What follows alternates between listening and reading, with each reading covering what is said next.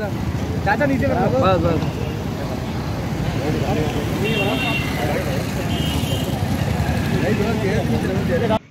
यादव जी अब तक आप समाजवादी पार्टी के सक्रिय कार्यकर्ता रहे हैं। बसपा में भाजपा में आए हैं। क्या मानते हैं? किस तरह का क्या आधार मानते हैं जीत का? देखिए सिरसागंज विधानसभा भारी बहुमत से जीतने जा रही है बीजेपी। बीजेपी का मूल वोट है और हमारा व्यक्तिगत जो आधार जनाधार है वो बीजेपी को वोट करेगा इस आधार पर भारी बहुमत से हम लोग जीतेंगे किस तरह की चुनौतियाँ सामने आ रही हैं आपकी? देखिए चुनौतियाँ तो षडयंत्र से जा रही है। यहाँ इस ज़िले में शकुनी पिता पुत्र हैं। वो चाहेंगे कि किसी तरह सिरसागंज का चुनाव जिसको हो। उनका मानना है कि सरकार भारतीय जनता पार्टी की बने।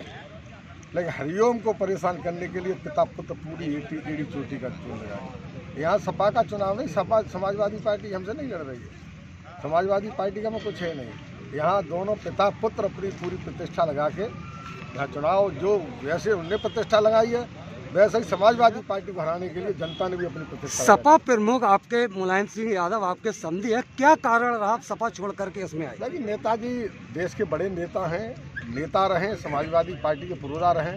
अब समाजवादी पार्टी में उनकी कोई सम्मान इज़्ज़त नहीं है।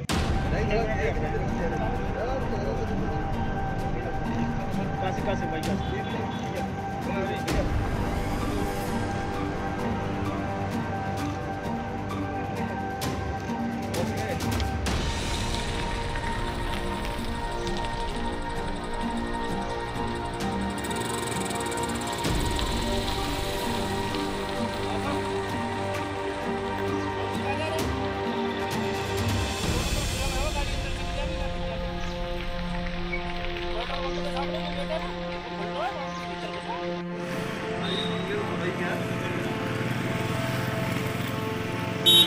आएँगे तो सभी है ना।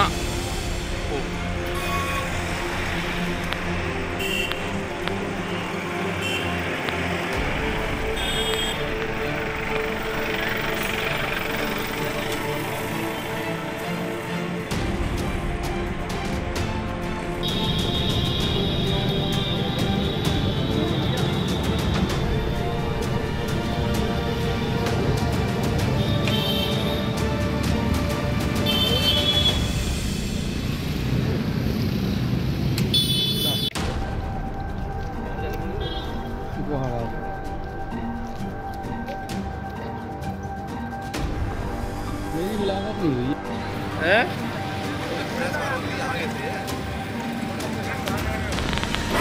कहाँ से आगे से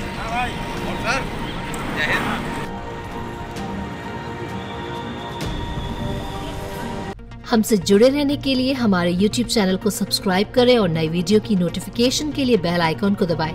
अगर आप ये वीडियो Facebook पर देख रहे हैं तो लाइक ज़रूर करें और ज़्यादा से ज़्यादा शेयर करें। धन्यवाद।